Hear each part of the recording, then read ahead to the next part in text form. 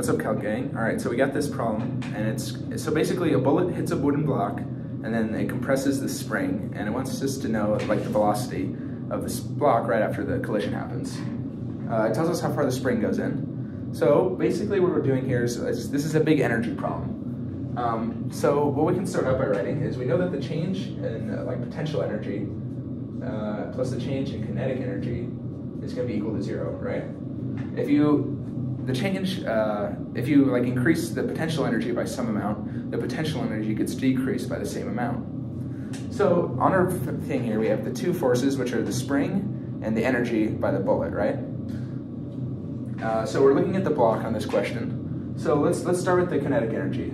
So the kinetic energy is one half mass velocity squared.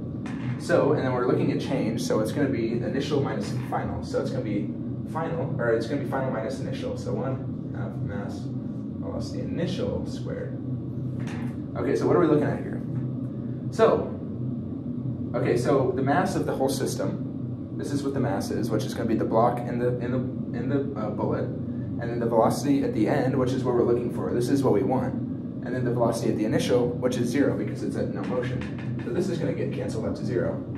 And this isn't just all that we have. We have the spring force too, so let's consider that. So we know that the spring, um, so let's think, so the change in U is the, uh, the energy in final minus the energy initial. So this is also going to be 1 half. Um, so this is the spring constant times um, the chain, or x initial, or x final squared. Uh, this is the formula for, uh, you know, U spring is equal to 1 half k x squared, right? So that's what we're using for this part. And then we're going to also subtract that from 1 half k x initial squared.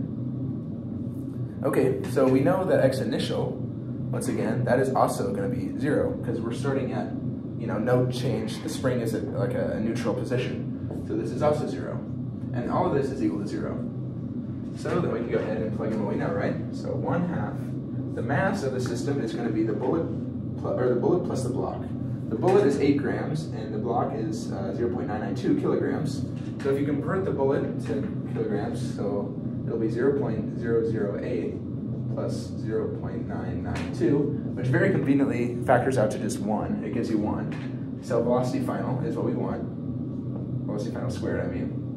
And then plus 1 half. Um, so we need the spring constant, right? Uh, and luckily, it gives us this thing here. So this calibration of the spring shows that the force uh, 0.75 newtons is required to press the spring 0.25 centimeters. So another thing, we have the force of spring is equal to the kinetic, or the, the spring constant times the uh, x, right?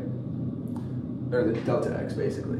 So if it's 0.75 newtons is equal to the constant times the change in x, which is 25 centimeters, or 15, 25, right? Yeah, 25. No, zero mind, 0.25 but then if we're converting that to meters, we're gonna have to divide it by 100. Of course, you're gonna move this to the other side. You'll get the constant is equal to 300. Okay, so moving that into here, 300. And then um, the change in x squared, which is 15 centimeters this time. So this is 15, but over 100 squared. And then this is all equal to zero. So if you move this over to the other side, you know, you multiply by two, and then you uh, do all this stuff, and you take the square root, you're getting a velocity is equal to 2.60 meters a second, right? Okay, so that's part one. That's the uh, velocity just after impact. And then what's the initial speed of the bullet? Okay, how do I do this? okay, so same, same thing again. It's going to be, uh, this is not the same thing, but the same thing as substituting earlier. So the uh, initial um, momentum is going to be equal to the, the uh, final momentum, right? The momentum is conserved. So momentum is equal to mass times uh, velocity, right?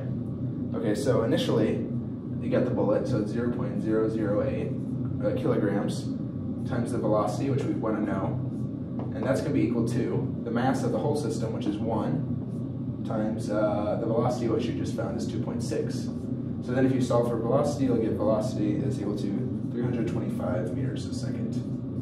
Yep. And that's how you find that part. Okay, so yeah, that's how you do it. Uh, good luck on your physics homework, guys.